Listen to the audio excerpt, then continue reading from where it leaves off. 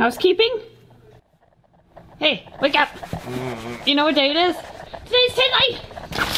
Oh. Good morning! Hey, Tinley. Good morning! Let's go to Tinley! Yay, it's the best day of the year! It's better than Christmas! And you get to wear the unicorn onesie today! No. Yeah, no, come on! No! Wrong way! Wrong way! Come out! way.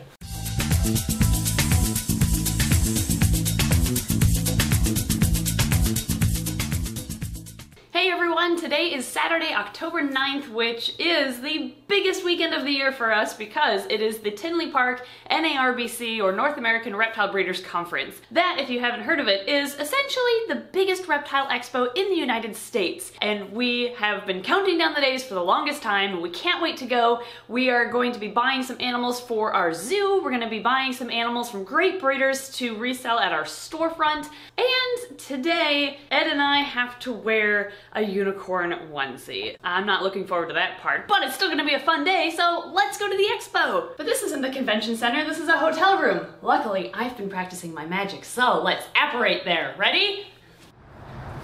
Yeah! It worked! We're here! Let's go inside! So we're looking for a red Ackie monitor for our huge zoo exhibit. We're also looking for a couple of maybe monkey-tailed skinks to add to the exhibit. Uh, what are you looking for? I don't know. Those are about the only things I could think Yeah, of. we want those, maybe some hog noses for Yeah. future breeding projects. I'm a little nervous though. Oh my god. Trying not to bring attention to myself. Yeah. There's people wearing onesies. I have the onesies here. Oh no, we have like half an hour and we have to change into those. Yeah, I'm not looking Uh, forward to that. I'm gonna be so embarrassed. You're gonna be embarrassed. Mine rides up on me. Yours at least looks normal on you. So we just got in the show, and Grant from Reptileverse, who's actually one of our Patreon supporters, was looking for some keeled lizards, and we happen to have some in the store available. So this is actually the only animal that we've planned to meet up for at the show. and, uh, do you get anything else here? Uh, I got a dwarf retail. Oh, nice! Oh, cool. You didn't have to bring us something, by the way. oh my gosh. Oh, nice. Holy moly. I have lunch plans. Wow. Oh my gosh, there's Reese's in there. Thank you, Grant. Of course. Didn't have to do that. well, I hope you have fun at the show. Yeah, me too. Thanks. All right, it's almost 10 o'clock. People are already going in. I have yet to change because it's taken us a while to get out. But now it's time. This is so embarrassing. Got all the pins. All right, let's see how Ed looks. Oh my gosh. You're wearing it too. Yeah. Nice. Looks good on you. It's a little short. It's a little short in the sleeves, in the legs, in the crotch. Oh no. Yeah. The bad thing is mine doesn't have pockets. Mine has pockets, but it rides. and rides. Alright. Well, I have the pins. Wish us luck, everyone.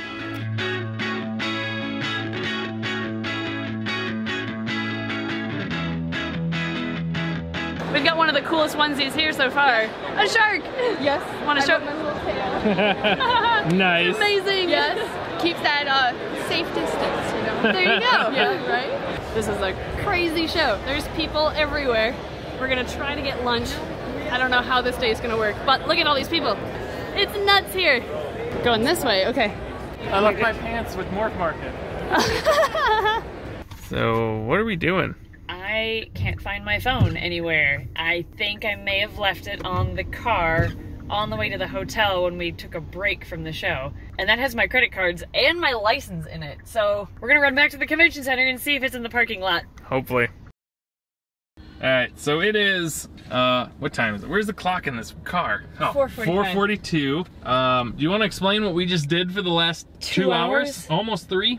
We're supposed to be at lunch. We had to leave the show on Saturday because we're gonna take a break and we went back to the hotel To change out of our unicorn to onesies. change out of the unicorn onesies. We are gonna meet up some friends with uh, friends with at lunch. I can't even talk. And then I noticed my phone was gone. Yeah. So I'm like, oh well, the last time we saw it was I had set it on the top of the car in the Tinley parking lot to pack stuff up in the car, and I must not have grabbed it with me or grabbed it to put it in, and I didn't notice till we were already back at the hotel. Yeah, then we So- found this. So then we saw this at the hotel. After going back to the Tinley Park, going back to the hotel, retracing all of our steps, we found this in the hotel parking lot. So somebody took my phone out of the case and left the case's carcass Or- behind. The case got run over and it popped off. That was not That's a true. super good case. That's true. That could have happened too. But thankfully, we had our friends Lyra, Mandy, and Nick helping us scour the parking lot trying to find my phone because it wasn't just my phone. Inside of the case is where I typically, probably not anymore, but it's where I keep my credit cards and my driver's license. Thankfully, Ed was able to, I don't know how you did it, but magic. He found the GPS location of my phone a few miles down the road. So we all drove down there and met And the police stopped us and went, "Hey,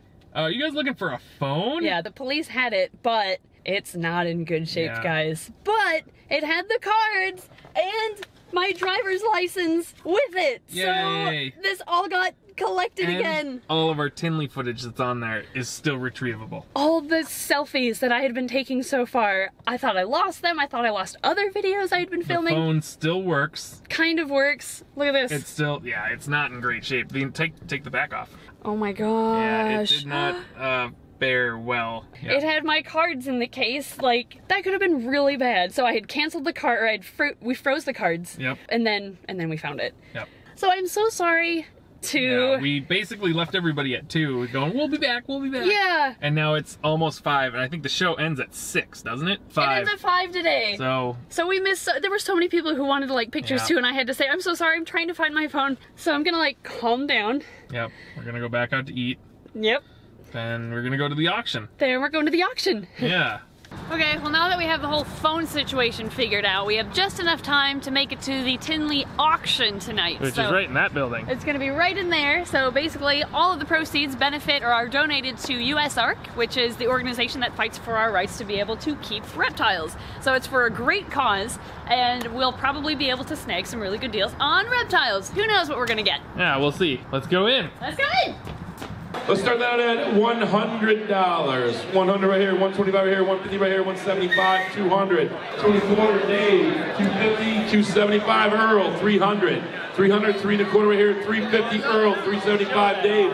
They were 400, 400 Earl, 425, 450, 475 Dave, 500 Earl, five and a quarter. Five and a quarter, 550, 575 Dave, 600 Earl, number 650. Dave, 1100, 1100 Dave, 2000. 2,000. 2,000. Anybody? Once? Twice? Sold. 2,000. Thank you very much, guys. Thank you. Uh, Emily, what are you doing? Um, so I mean, my, this is your beautiful phone that yep. we found. Isn't it really pretty? Yeah. At least you found it. Yeah, we honestly. found it at least, but now it drops glass when you tap on it. I don't think phones are supposed to do that. I mean, that's what my phone does. oh, is it? Save it Yeah. for Christmas. Use Yeah. it for snow. I can make glitter. Maybe it's an ornament now. crafts. So, uh, what's going on over there? Well, you know, it's not really ever a true Tinley experience unless the ambulance shows up for something. That's true. I Every forgot about that. Every night so far, there has either been a what was that fire truck came a couple days Fire ago. Fire truck the first two nights. First two nights fire truck. Now an ambulance. Ambulance tonight. It's Tinley. It's a good party at Tinley.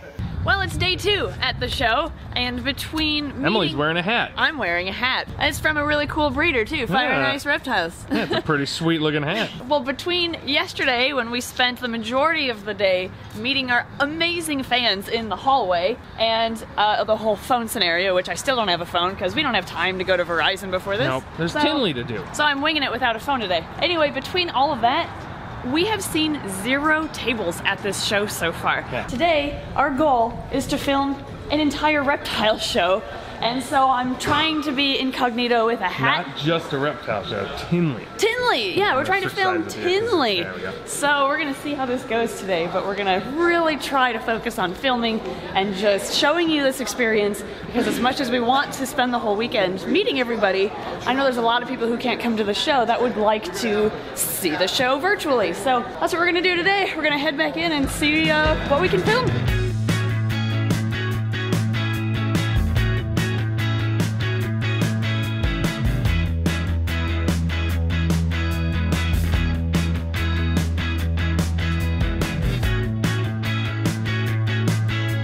Sorry, everybody. We have so much to film. I'm kind of like head downing it until we have all of our footage, and then and then I'll go up and meet everybody. Okay, we filmed three interviews in an hour, and uh, just, just we- under an hour. yeah, got distracted by buying some tricolor Yeah, hugs. Emily had to go and buy stuff. It was worth it, worth the distraction. But now we need to film a bunch of other stuff. We need so to film B footage and more B footage, yeah, and people are coming in, so hopefully we don't get swamped. let's go.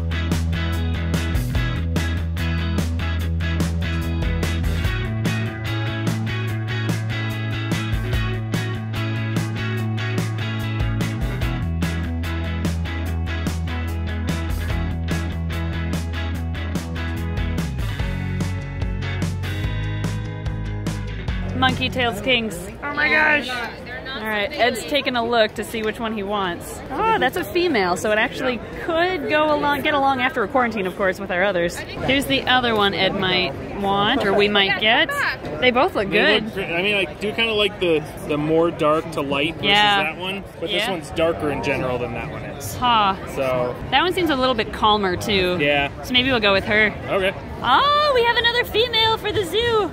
Over here we have Carl and Tegan with South Tex Gex, and they have some incredible Leachianus geckos. So can you explain a little bit about your leechies and what you specialize in? Well, I've always been into reptiles for as far as I can remember, and uh, I've had all kinds of species, and gargoyles, leeches, and now Sarasinorum are species that I work with. And this particular animal uh, is one of my Sakura lines. Sakura actually stands for cherry blossom in Japanese, only because they express a lot of really pretty colors. Uh, I do have another line of, of granites, which are heavily patterned animals, and uh, I want to incorporate them both to produce uh, fully saturated red to pink Leachianus. And as you can see, I'm getting pretty close. And I love your display Oh, enclosures here. yes. I love how it keeps it dark so that they stay fired up. Right. It's called a fire up box. It's a, for years I've displayed animals at shows, and I was always frustrated because when I'm trying to show an animal like this, and as soon as you uncover the table, 20 minutes later. They're all gray and washed out. Right. And I've always wanted to show what I actually have, and I was always frustrated. I said, how do how do I keep that from happening? So I thought up with this idea, and I had a friend of mine that builds uh, display cases. And I said, can you build me this idea? And he made me uh, a prototype, and it worked the whole weekend. I said, okay, I want you to make me some displays like this. As of now, I've been using this probably for six months. It minimizes their stress and it makes them fire up. I mean, rarely do you go to a show and see an animal at its best like that. Yeah. So it's definitely a must for anybody who breeds any kind of Rhacodactylus or animals that fire fire down, or even just to minimize stress. I didn't realize you came up with this idea. Yes, it's mine. That's so cool because I've seen these um, the fire up boxes Right. in several shows Yes, now. I'm the original guy. and you came up with it. Yes. Wow, genius idea. They work beautifully because you're right, they stay fired up the entire time. And you can really show off those true colors. If people are interested in learning more about what you breed, where could they go? Well, I have a Facebook, Carl J. Vargas. I do have a South Tex Gex uh, Facebook also. That that's one way through Messenger you can reach out to me. Mainly, it's the shows I vend at. Is where you can see my animals.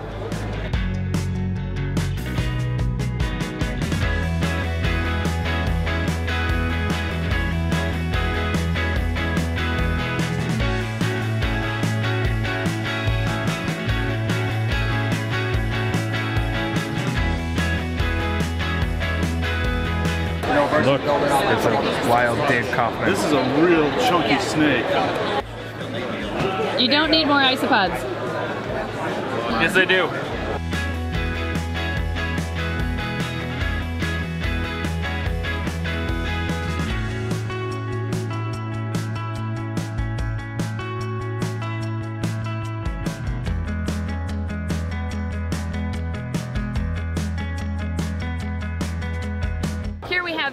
With Nature Nut, and she has quite possibly the most interesting lizard at this entire show.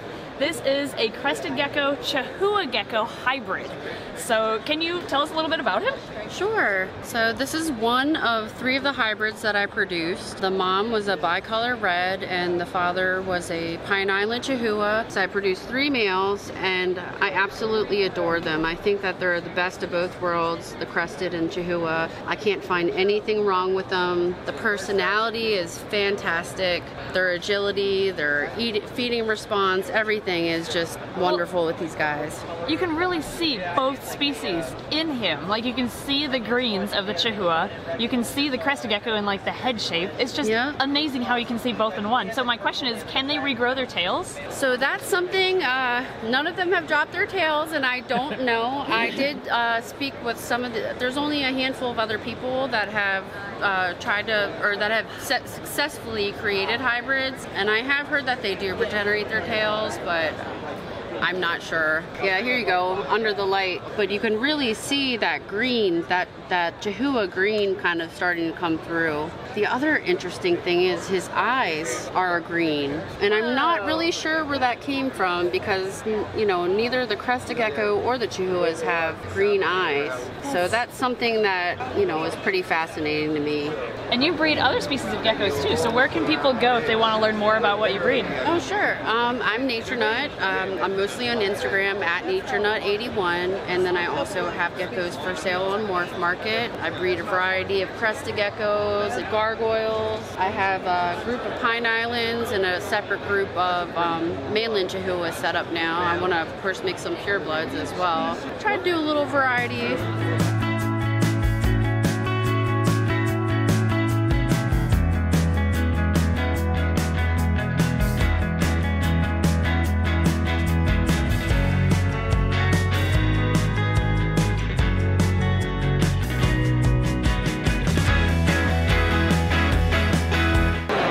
I get to buy a bunch of uh, isopods, right? Well, I figured because you bought isopods, I can buy two hog noses. You bought tricolors earlier. That doesn't count. The tricolors were earlier, didn't count. You bought isopods, so now it's my turn to buy a pair of hog noses. Not fair at all. Yep.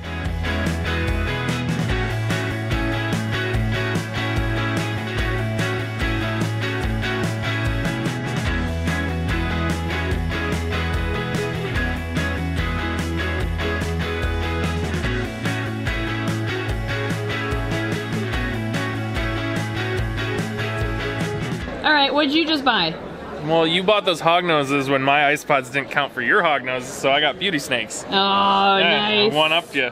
So these are um, rubber boas. Rubber boas are awesome. They're one of um, only two boa species native to the U.S. And um, you know they're called rubber boas because some people think they look like rubber. I know a lot of people think they look like worms. They've got really small, really soft scales, so their texture is like fairly unique among snakes. And another thing super unique about them is that they need cooler temperatures. So they're a pretty unique and cool species, and I just love the look of them and the feel of them.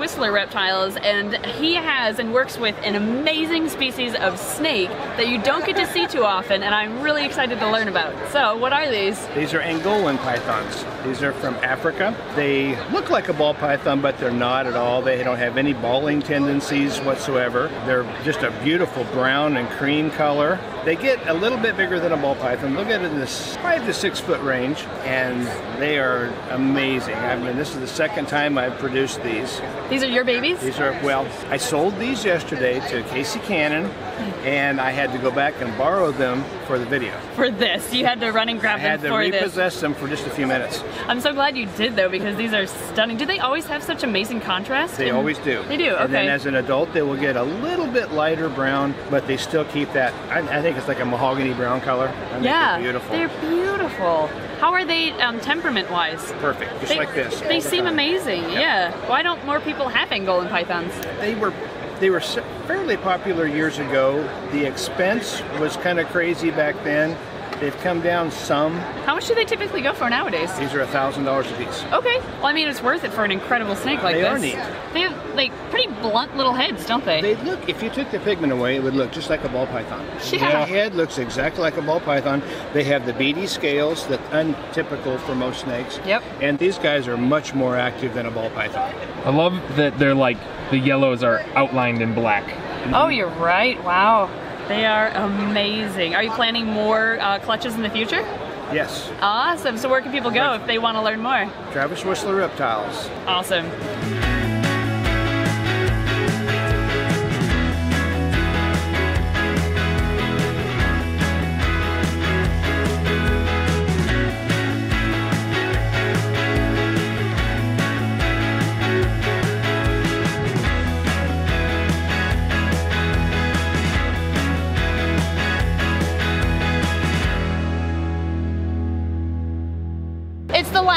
45 minutes of the show, and we're trying to buy a bunch of stuff because now is when we can get wholesale on products for our store. Yeah, 'cause like we already get stuff through VE. they, you're good. And instead of uh, buying it and then having shipped to us, we're just gonna take stuff home. yeah, then they don't have to bring it back, Yeah. and we can just have it in stock. It's Yeah. great. I'm so sorry for the fans who are trying to meet us right now. We only have so much time before the, the whole thing closes down, so we have to go buy and stuff for our need store. We need this for inventory. okay, so Let's go. okay, goodbye. All right. Well, I had to go get reptile basic stuff, and I left Emily alone. But I don't know where she is. Uh oh. What did you do? Nothing. Look that way. What? There's nothing that way. What?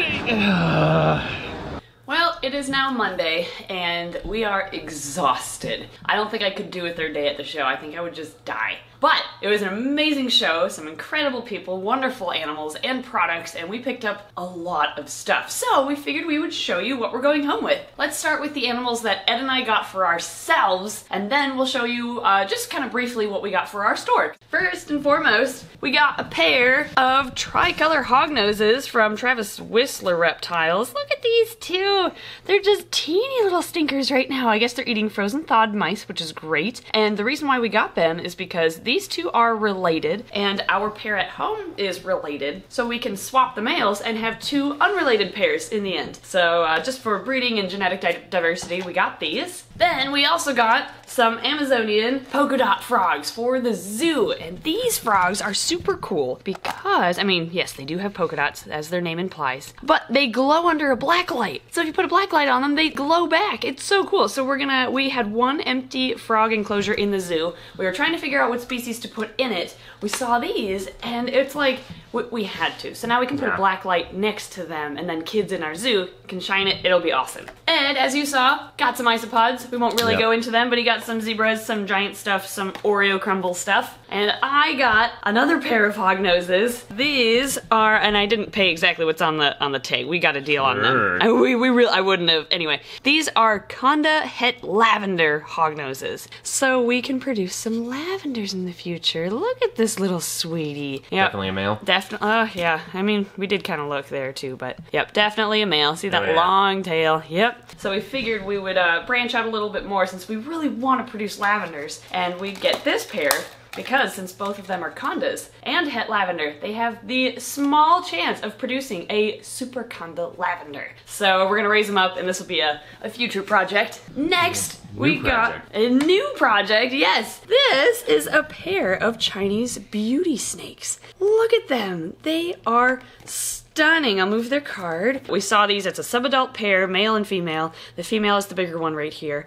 And we enjoy our Vietnamese blue beauties so much that we've been wanting to kind of branch out into other blue beauties or other other beauty snakes. So we found these and couldn't pass them up. So we're gonna hopefully breed these in the future too. And the last thing we got for ourselves is uh, wild caught actually, which is why I'm saving them till the end. These are monkey-tailed skinks, or a pair of uh, prehensile tail skinks. We got these because we have two females in our zoo, and it's a huge cage at the zoo. It's six by three by seven feet, and they are social animals, so hopefully they get along. I mean, these two we're gonna have to quarantine and treat for parasites because they're wild caught, but our end goal is to have a group of four in the zoo enclosure and then hopefully breed them in the zoo. So we have to quarantine, do all the wild caught stuff first, and then we'll introduce them. Next, let's show you what we got for our store. First, we got some tarantulas. These are some, what was it, Cuban bronze? Cuban bronze tarantulas. Cuban bronze tarantulas. We have some green bottle blues that we're bringing back to the store. Basically, we found some sizable tarantulas, and our customers have been looking for some bigger ones because they're a little bit more like established. They're not as fragile as little slings, so we were able to find some at the show for them. Next, we got some mourning geckos because those have also been highly sought after by people visiting our store. So we got some from Josh's Frogs. They always have really nice lizards and frogs and everything. So we'll go home with some little mourning geckos. And we got some snakes for our store. So this is a hypo boa, hypomotley boa constrictor. We have a sun glow that we're going to be bringing to our, our store. And we've got some ball pythons. We've got a pinstripe candino here. I really like banana stuff, as you all know, so I bought a lot of bananas. Fun fact, in case you don't know this, coral glow is the same thing as banana in ball pythons. There was just debate on who had it imported first, and therefore who got to name it. So if you see coral glow, it's the same thing as banana, just from a different strain. We also got some milk snakes for our store for the first time. I think people are really gonna like milk snakes, and these were just gorgeous, so we had to pick some up. We've got some tangerine Hondurans, we've got some ghost Hondurans, and we have some regular Sinaloan milk snakes here. So pretty. And I actually had pre-arranged with our friend Kathy, who had some animals that she was wholesaling out. We met at the show, and we picked up a beautiful blood python. It'll be kind of hard. I don't want to take the tape off of everything yeah. here. We have a pied ball python, which is beautiful. Got some nice white over there. And we got from Kathy a pair, what was supposed to be a pair of corn snakes, and she raised them up and realized they were both males. So she didn't need them. And so uh, they're really handleable though. So she's been working with them a lot. He so also gonna, likes his paper towel. He loves his paper towel. Yeah. That's his favorite paper towel. so we're gonna be able to find them really good homes at our facility, I think. Really good like family homes with yeah. how friendly they are. And last but not least, we are going home with four Leachianus geckos. Hooray! I'm pretty excited about these. I think we're gonna pick one and keep it for ourselves. Yeah, there's a really pretty one in there. Yeah, which one is that I really? I think it's this one. Aww! Baby leeches! Oh my gosh. We've only gotten ours, our two, we got as adults already, yeah. so I'm not used to this stage.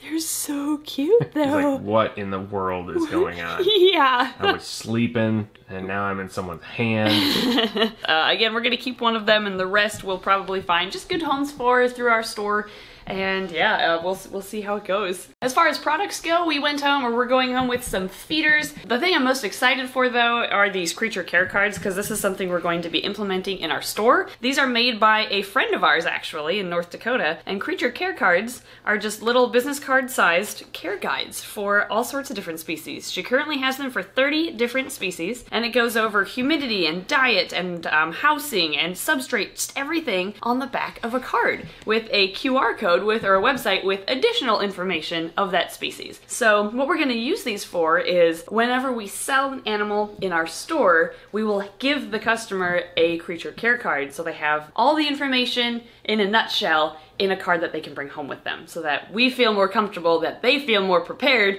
to properly take care of that animal. It's also going to be really good information for our staff. Yes, we're going to use this as a training uh, guide for our staff actually. So our friend Sari makes these. They actually, you can buy the, a book full of the 30 cards that she currently has. It's just uh, creaturecarecards.com. So go check it out. Again, we recommend them highly because they have a lot of great care information on those cards. And lastly, I mean, that's everything that we're going home with, but we wanted- Everything? Yeah, yes, there's a lot of animals that we're going home with. I'm sorry, staff, that you're gonna have to set them all up. Yeah. So anyway, I did want to spend a couple of minutes here just talking about how the show went, and something I want to apologize for. Between the unicorn onesie shenanigans and our phone situation, which I still don't have a phone, yep. that's okay, we'll figure that out later. We had so much fun, first off, meeting everybody on Saturday. That was a blast, just chatting with all of you and meeting you in person but we didn't get any time to go to the show at all on Saturday, which is fine, but we were just a little behind on Sunday with filming. We had to buy stuff for our store, we wanted to buy stuff for our own collection, and there were some families that we kind of had to quickly, as we were running through the show yesterday,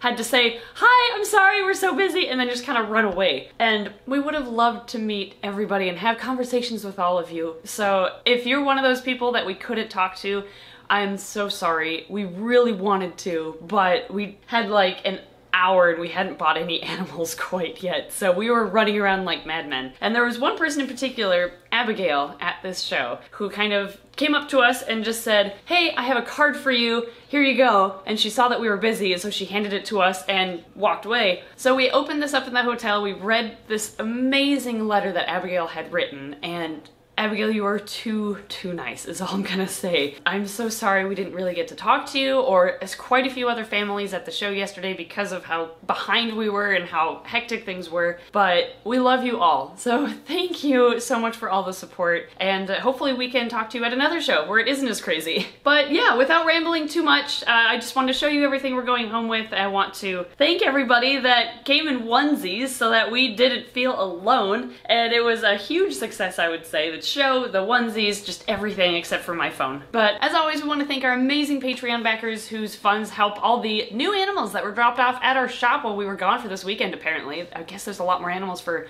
Adoption Island for us to meet when we get back. We also want to thank our staff for watching the store for us for four days while we were gone. It's the longest they've ever been by themselves and they did an amazing job. But yes, thank you everybody who also met us at the show and thanks for watching. We'll see you all next time.